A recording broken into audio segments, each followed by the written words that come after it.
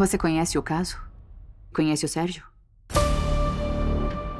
Há seis anos ele virava o assassino da sacada.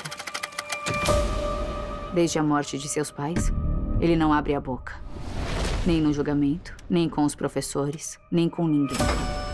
É possível que você seja a única pessoa com quem ele se abre. Oi.